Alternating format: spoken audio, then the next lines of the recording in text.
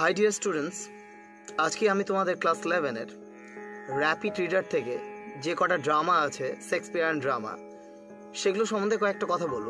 আর আজকে পড়াবো আমি কমেডি অফ ইয়ার্স তার আগে যে কথাগুলো তোমাদের জানা দরকার, এই যে তোমাদের র্যাপিড রিডারের শেক্সপিয়ার প্লেসগুলোকে কম্বাইন করে দেওয়া হয়েছে, সেগুলো শেক্সপিয়ারের সর্বতকালের ভালো ভালো কাজগুলির মধ্যে, যেমন একদম আদি সময়ের তার তার সময়কালে লেখা কমেডি অফ ইয়ার্স তারপর আরও উন্নত কিছু কমেডি যেমন টুয়েলভ নাইট তারপর অ্যাজ ইউ লাইক ইট হ্যাঁ?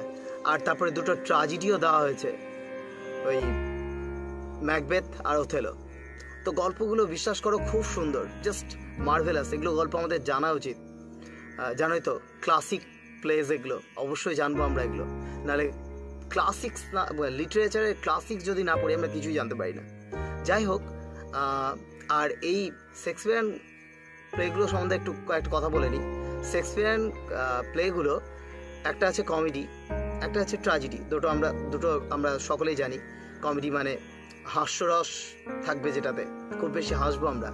আর ট্র্যাজেডি মানে হচ্ছে তোমার দুঃখের হবে।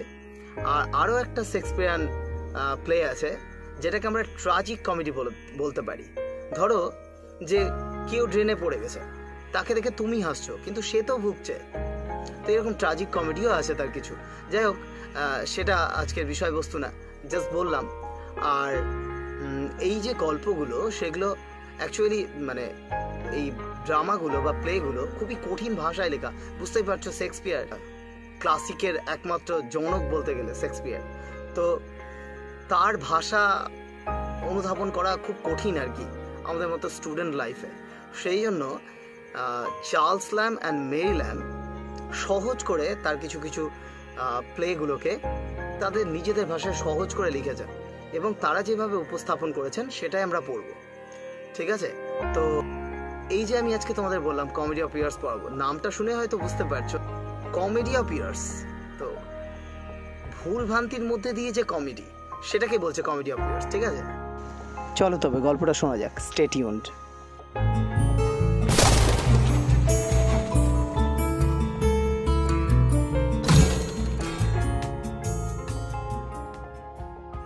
গল্পটা এইভাবে শুরু হচ্ছে সাইরেকাস আর ইফেসাস দুটো স্টেট ছিল ঠিক আছে? আমি শর্টকাটেই বলব সব কিছু বলতে পারব না অনেক বড় হয়ে যাবে। তো এই দুটো ছিল এনিমি স্টেট একে অপরের শত্রু। বিশেষ করে ইফেসাস।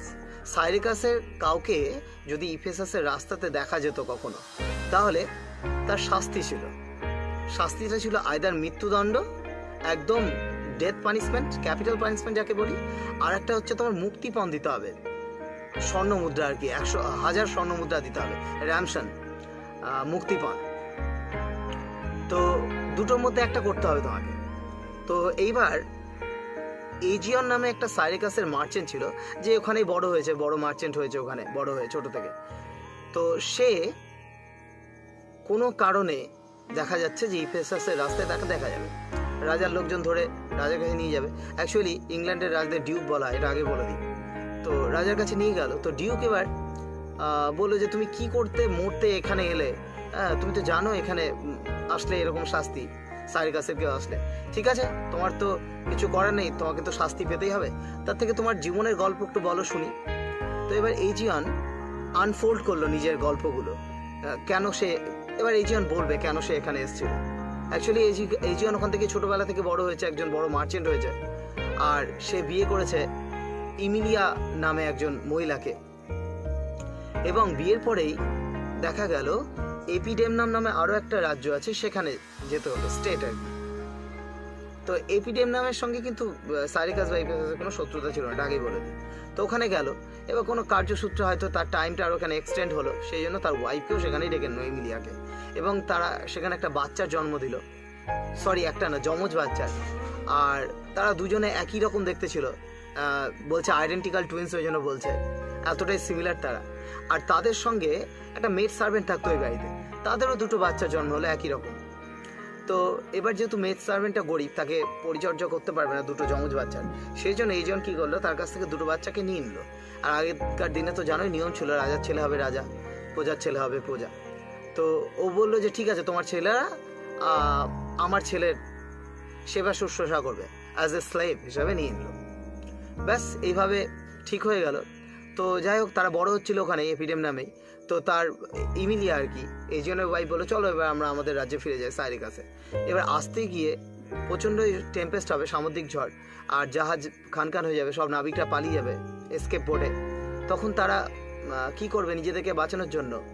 বড় দুটোর দায়িত্ব, বড় দুটো বলতে নিজের, এবার একটু তো সময়ের ব্যবধান থাকে জমজের মধ্যেও। তো বড় অ্যান্টিফোলাস আর বড় ডোমিওকে যে চাকরটা, ওদের নাম ডোমিও, আর তার নিজের ছেলে, আগে এটা বলে দিই হ্যাঁ?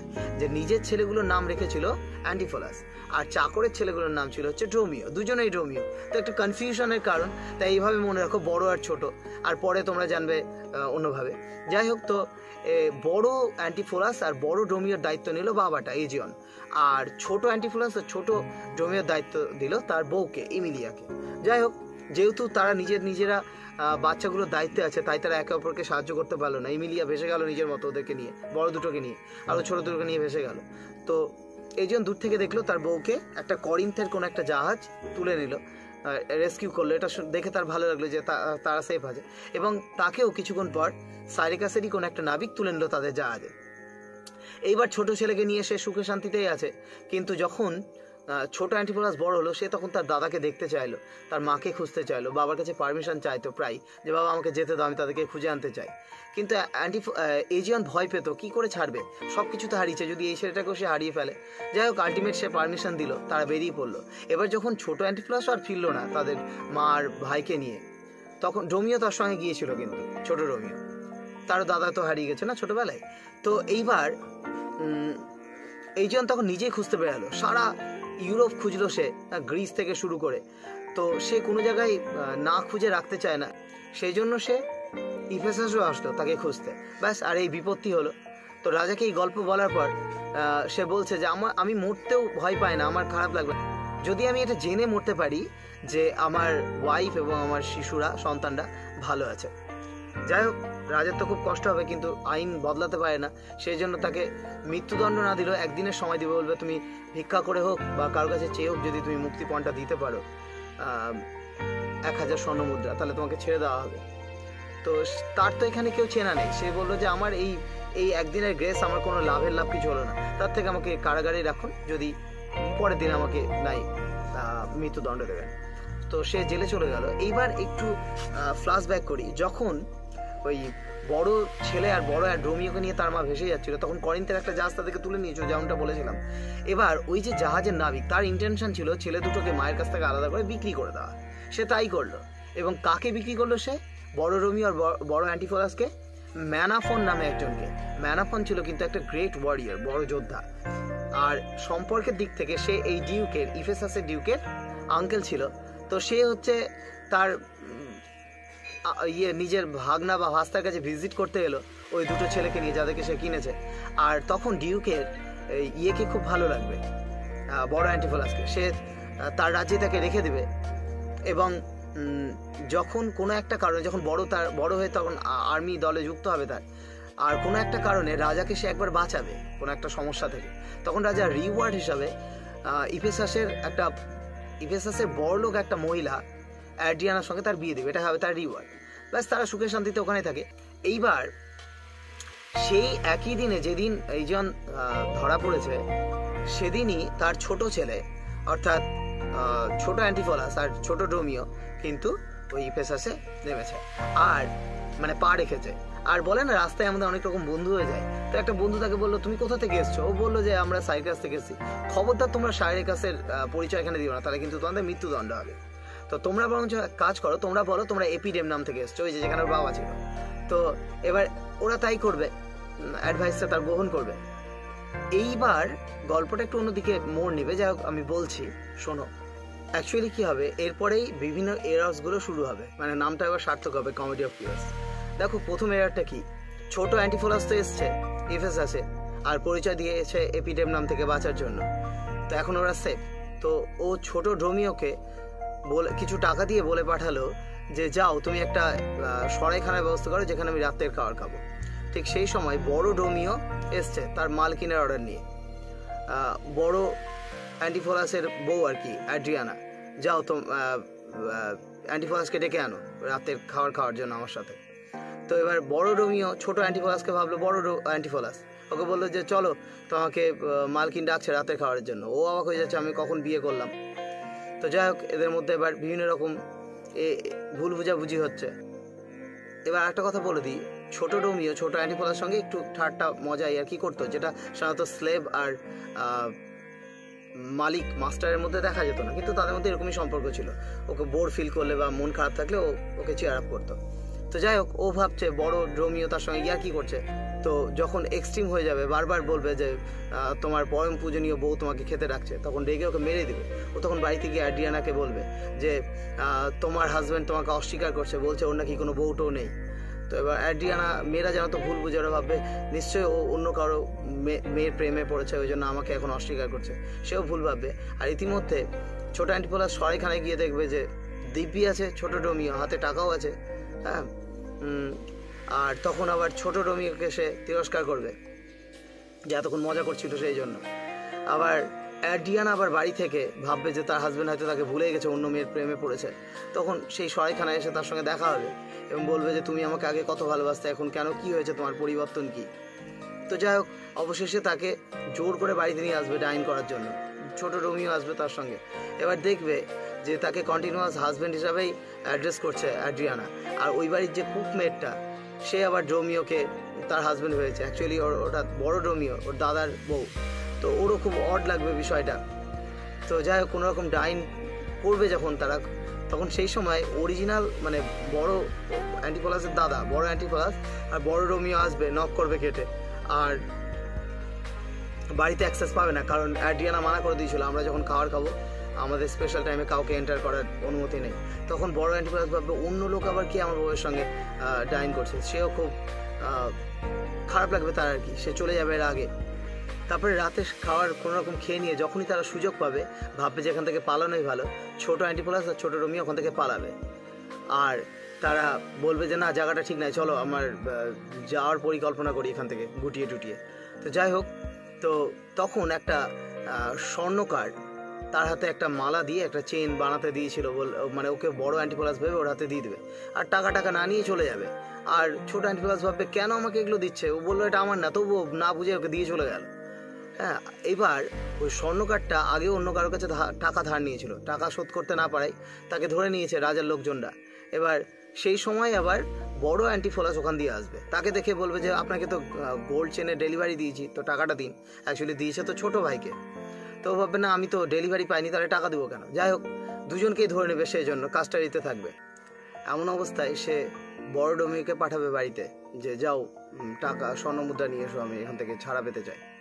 তো এবার অ্যাডিয়ানার কাছে আসবে, টাকা নিয়ে যখন যাবে, তখন দেখা হবে তার ছোট অ্যান্টিফোলাসের সঙ্গে। তাকে টাকাটা দিয়ে দেবে। আর সে একটু অবাক হবে, যা বাবা, এখনই তো কাস্টারিতে দেখলাম, কীভাবে ছাড়া পেলাম? যাই হোক, তো এবার এর মধ্যে ছোট অ্যান্টিফোলাস অনেক কিছু এক্সপিরিয়েন্স করবে। রাস্তায় যে তার যার সঙ্গে তার সঙ্গে দেখা যাচ্ছে সে তাকে সালাম করছে, কেউ তাকে জামা কাপড়ের মাপ দিয়েছিল আগে, সে জামা কাপড়ের ডেলিভারি দিচ্ছে। কেউ তাকে কৃতজ্ঞতা জানাচ্ছে অনেক কারণে। সে ভাববে এই জায়গাটা উইচ ক্রাফট সেই জায়গাটা ছেড়ে যাওয়াই ভালো। বলবে যে, যাও, ব্যবস্থা করো, আমরা এখান থেকে যাব। ইতিমধ্যে ইতিমধ্যে একটা মেয়ের সঙ্গে তার দেখা হবে, একটা মহিলার সঙ্গে।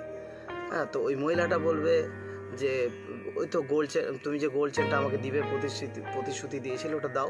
অ্যাকচুয়ালি কী হয়েছিল শোনো, যখন ছোট অ্যান্টিফোলাস ডাইন করছিল ডিনার করছিল তার বউয়ের সঙ্গে, তখন বড় অ্যান্টিফোলাস ওই যে বাইরে এসেছিল নক করেছে, তাকে ঢুকতে দেওয়া হয়নি, চাকরে ঢুকতে দেয়নি।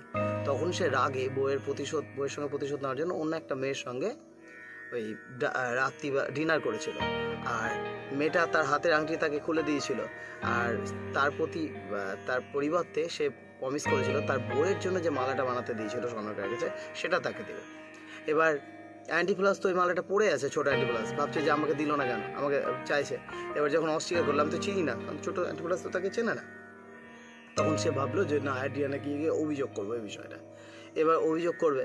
অ্যাডিয়ানা সব কিছু বিশ্বাসও করে নেবে, কারণ অনেক কিছু এক্সপিরিয়েন্স করছে সে। পর, আর সব কিছু জানার পর অ্যাডিয়ানা ঠিক করল যে তাদের দুজনকে অন্ধকার একটা ঘরে আটকে রাখবে। যতক্ষণ না ডাক্তারকে দিয়ে দেখিয়ে তাদেরকে সুস্থ না করবে, একটা অন্ধকার ঘরে আটকে রাখবে। ঠিক সেই সময় কেউ একজন মানে চাকর বাকর তো এদের অনেক থাকে, একজন এসে বলল যে অ্যান্টিফোলাস মানে মালিক আর ডোমিওকে রাস্তায় ঘুরতে দেখা যাচ্ছে। অ্যাকচুয়ালি ওটা ছোট ডোমিও আর ছোটো অ্যান্টিফোলাস, বড় দুটোকে আটকে রাখার কথা ভেবেছে করে রেখেছে ওরা। তো যাই হোক, তখন সঙ্গে সঙ্গে অ্যাড্রিয়ানা লুসিয়ানা সবাই মিলে যাবে। হ্যাঁ, আর তখন দেখবে যে তারা একটা মঠের সামনে দাঁড়িয়ে আছে ছোট রমি আর ছোট অ্যান্টিফোলাস আর সেই সময় ওই গোল্ড স্মিথটা তাদের বিভিন্ন রকম দোষারোপ করছে যে হ্যাঁ আমি দিলাম ডেলিভারি অথচ আমাকে টাকা দেওয়া হয়নি আনতেন যদিও তারা তো অ্যাকচুয়ালি দোষী না বলল যে আমাকে শুধু শুধুই দিয়েছে সে গলাতে পড়ে আছে আমার কাছে টাকা চাইনি তো আমি কেন দেবো? আমি তো এটা চাইনি আমি তো বানাতেই দিইনি। যাই হোক এমন অবস্থায় সেখানে অ্যাড্রিয়ানা আসবে আর বলবে যে তুমি কীভাবে ছাড়া পেলে? আবার বন্দি করার যখন তাদেরকে হুমকি দিবে তখন তারা সঙ্গে সঙ্গে মঠের ভেতর প্রবেশ করে যাবে যে মঠের সামনে তারা দাঁড়িয়েছিল। আর মঠের যে মঠাধ্যক্ষ বা আব্বাস, সে কিন্তু এমন একটা মহিলা যে সবসময় ন্যায় বিচার করেন। সে তার কাছে আশ্রয় নিয়েছে, এমন কাউকে বিপদে পড়তে দেবেন না। তাই সে বিষয়টাকে অনুসন্ধান করে দেখার চেষ্টা করল।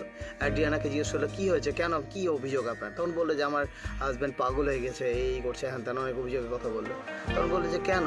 তখন সব কিছু জেনে বলল যে, আপনারই তো কারণে, আপনার এই বদ মেজাজি, সবসময় সন্দেহ করা হ্যাঁ তারপরে খেতে ঠিক মতো না দেওয়া, পর্যাপ্ত, এগুলোর জন্য হয়তো শরীর খারাপ হয়ে গেছে, বিক্ষিপ্ত প্রকৃতির হয়ে গেছে, এরকম বিভিন্ন অভিযোগ করবে। লুসিয়ানা তাকে প্রোটেক্ট করার চেষ্টা করবে, কিন্তু এত সুন্দর যুক্তি দিয়ে, যে, লুসিয়ানাকে বলবে তুমি বলছো না কেন? এত কিছু তোমাকে বলছে যখন তার দিদিকে বলবে। হুম? তো তখন এত সুন্দরভাবে মরাদক্ষ তাকে বুঝাবে যে সে পেরে উঠবে না তার সঙ্গে যুক্তিতে। তো এবার যখন সে বলবে যে, না, আমাকে ছেড়ে দাও আমার হাজব্যান্ডকে আমি নিয়ে যেতে চাই আমার সঙ্গে। তখন আব্বাস তার সঙ্গে মানে মরাদক্ষ তার সঙ্গে যেতে দেবে না, এরকম একটা মহিলার সঙ্গে। আরও কারণ পপার তার সঙ্গে আরও সফট কথা বলে তার পাগলামোটা ঠিক করার চেষ্টা করার মানসিকতায়। যাই হোক, যদিও এটা কিন্তু ছোট অ্যান্টিপোলাস তার পাগলামো নেই অ্যাকচুয়ালি যাই হোক এগুলো সবই এরার্স ইতিমধ্যে রাজার কাছে যে এজিয়ন বন্দি ছিল, মৃত্যুদণ্ডের দিন আজকে, যেহেতু সে টাকা শোধ করতে পারেনি। তো মৃত্যুদণ্ডের যে জায়গাটা, মৃত্যু যেখানে দেবে তার, সেই জায়গাটা হচ্ছে মঠের কাছে। তো সেখানে রাজা নিয়ে আসবে তাকে। রাজাও আসবে, যদি সেই সময় তার মুক্তিপণ কেউ দিতে পারে, এই আশায়, তাহলে তাকে সে ছেড়ে দেবে। তো যাই হোক, সেই সময় ডিয়ানা রাজাকেই তখন বাধ্য হয়ে থামাবে। বলবে, দেখুন না, আমার হাজব্যান্ডকে ছাড়ছে না মঠাধ্যক্ষের সঙ্গে অভিযোগ করবে। তো যাই হোক এবার এদিকে তার আসল স্বামী মানে বড় অ্যান্টিফলাস আর বড় রোমিও, সেখানে আসবে। আর সে, তারাও এসে রাজাকে অভিযোগ করবে। দেখুন না, আমার বউ আমাকে কি কি করেছে, হ্যান আমাকে আটকে রেখেছে, অভিযোগ করেছে, হ্যান ত্যান সব কিছু বলবে। এবার অ্যাডিয়ানা অবাক হয়ে যাবে। আমি তো একটু আগে মঠের ভেতরে দেখলাম ওদেরকে। তাহলে এখানে কি করে আসলো? এরকম একটা বিষয়। এবার, এই জন তো বড় অ্যান্টিফলাসকে দেখছে। হ্যাঁ এবার, বড় অ্যান্টিফলাস তাকে চিনতে পারছে না। এটাও তার খুব ব্যথিত লাগল। আবার ভাবলো হয়তো লজ্জায় বা কোনো কারণে বলতে পারছে না। কিন্তু এজন তো চিনতে পেরেছে। আর বড় অ্যান্টিফলাসকে ছোট অ্যান্টিফলাসই ভেবেছে। ঠিক আছে? এমন অবস্থায় মঠাধ্যক্ষ মানে আব্বাসটা, ছোট অ্যান্টিফলাস আর ডোমিওকে নিয়ে ওই জায়গাতেই এসছে সেম জায়গায়। আর সবাইকে অবাক অ্যাড্রিয়ানাকে বিশেষ করে অবাক করে দিয়েছে। এই যেন অবাক হয়ে গেল। হ্যাঁ কী ব্যাপার, দুজনকে দেখতে পাচ্ছি আর কি, দুটো অ্যান্টিফলাস দুটো ডোমিও। কিন্তু ডিউক যখন এই যমজ যমজ যমজ অ্যান্টিফলাস যমজ ডোমিওকে দেখল, সে যেহেতু একজন ওয়াইজ জ্ঞানী মানুষ, সে কিন্তু বুঝতে পারল বিষয়টা আসলে কি। এই জোয়ানের পুরো গল্প যেহেতু সে শুনেছে, সে সম্পূর্ণটা রিলেট করতে পারল কি হয়েছে অ্যাকচুয়ালি আর এই জীবন তো প্রচণ্ডই আনন্দিত হলো। কেননা সে তো আরও ভালো বুঝতে পারছে, তার দুই ছেলে হ্যাঁ দুই ছেলের যে স্লেভ ডোমিও আর তার স্ত্রীকেও সে পেয়ে গেছে। কারণ আব্বাস যে মঠাধ্যক্ষ সেই তার স্ত্রী, তাকে তো সে চিনতে পেরেছে। হ্যাঁ সে ভাবতে পারেনি তার এত দুঃখের গল্প, যেটা সে সকালেও রাজাকে বলেছে, তার এত সুন্দরভাবে পরিসমাপ্তি করতে পারবে, এত আনন্দে। সে আনন্দে আত্মহারা হয়ে পড়ল। আর পুরো গল্পটা আরও সুন্দরভাবে ব্যক্ত করল সবার সামনে। ডিসক্লোজ করল বাস তারপরে এই গল্পটা পরিসমাপ্তি ঘটবে অ্যাকচুয়ালি একটা রিইউনাইটেড হবে ফ্যামিলি লং লস্ট ফ্যামিলি একসঙ্গে রিউনাইটেড হবে। এদিকে অ্যাড্রিয়ানাও খুব আনন্দিত হবে, তার শ্বশুরবাড়ি সকলকে পেয়ে। আর তারা অনেক দিন ধরে সুখে শান্তিতে এই পেশাসে অনেক বছর থাকবে।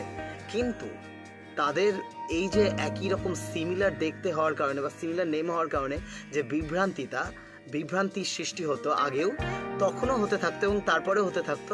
আর যেটা একটা আনন্দের একটা একটা মজার বিষয় হয়ে থেকে গিয়েছিল তাদের জীবনে। এই হচ্ছে গল্প। আশা করি তোমাদের খুব ভালো লেগেছে। তোমরা যেহেতু অনেক বড় এই ড্রামাটা বা এই প্লেটা, তোমাদেরকে পড়তে হবে এটা লাইন টু লাইন। তো তোমরা পড়ো, দেখবে, আমার কথাগুলো বুঝতে পারবে আর ভালো লাগবে আরও কারণ এত বড় গল্প পড়ার হয়তো এনার্জি তোমাদের নেই এখন, বা তোমাদের সিলেবাস তো এমনি অনেকটা অনেক কিছু পড়তে হয় ক্লাস ইলেভেনে টুয়েলভে যেমন সিলেবাস হাফ হয়ে যায়, আমাদের ডাব্লিউ বি সিএইচএসসি বোর্ডের ইলেভেনের সিলেবাস বা নাইনের সিলেবাস খুব কঠিন। টেন আর টুয়েলভে গিয়ে তা ততটাই সহজ হয়ে যায়। তো কাজে তোমাদের অনেক পড়তে হয়, তো বোর হবে এত বড় বড় পড়তে। নিশ্চয়ই তোমাদের টিচাররা পড়াবে, বা আমি তো পড়াবোই। আর ওই, দেখো তোমরা লাইন বাই লাইন পড়ো, খুব ভালো লাগবে। ভালো লাগলে শেয়ার করো বন্ধুদের সঙ্গে। লাইক দিও কমেন্ট করো, কোনো সমস্যা থাকলে বা আমার বোঝানোর কোনো ভুল থাকলে। And thanks for watching tata.